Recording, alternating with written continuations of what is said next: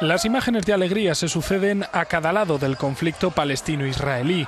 En uno, la euforia de las familias de los 477 palestinos liberados por Israel.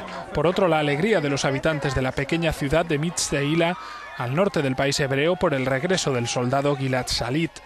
Más de 10 horas de viaje desde que fuera liberado esta mañana en el paso de Rafah hacia el territorio egipcio es lo que ha aguantado Salid, una recta final a cinco años y cuatro meses de cautiverio en manos de Hamas, un rescate que ha costado caro al gobierno de Tel Aviv, la liberación de 1.027 reos, muchos de ellos con delitos de sangre y cadenas perpetuas en dos plazos. El mismo regocijo que en Israel se vivía en Gaza y en Cisjordania con la liberación de presos palestinos, entre los que también había presos políticos.